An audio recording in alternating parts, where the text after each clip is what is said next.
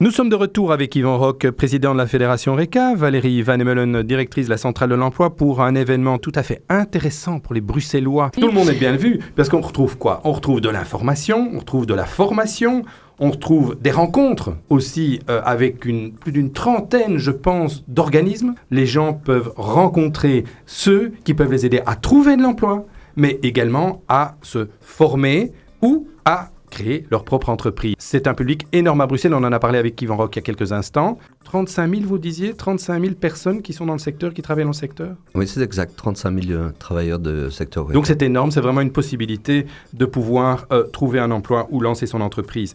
De la détente aussi, parce que je crois quand même qu'on doit pouvoir manger et boire pendant salon, si c'est le salon Oreca.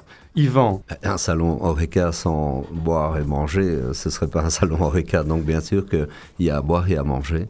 Alors on peut peut-être rappeler la date, l'heure, le jour, le lieu, Valérie?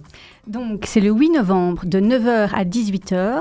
C'est à la Bourse de Bruxelles. Attention, l'entrée est gratuite, mais se fait par l'arrière du bâtiment, c'est-à-dire par la rue du Midi. On demande également à toutes les personnes intéressées de s'inscrire préalablement via notre site www.werkcentraldelemploi.be. Vous pouvez également nous contacter au 02 211 14 60 pour toute information. 211 14 60. S'inscrire pourquoi? Parce qu'en plus, on reçoit des cadeaux semble-t-il, des petites choses en sortant qui permettent de garder un souvenir, mais surtout de l'information. Alors, peut-être encore un petit mot sur euh, cette initiative, euh, Yvan?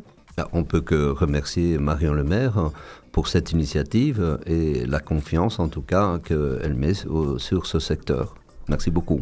Eh bien voilà, c'est du positif, c'est Bruxelles. On aime Bruxelles quand il y a du positif. Merci beaucoup à Yvan Rock, merci beaucoup à Valérie Van Emelen. Bon travail et on se retrouve très bientôt. Merci, au revoir.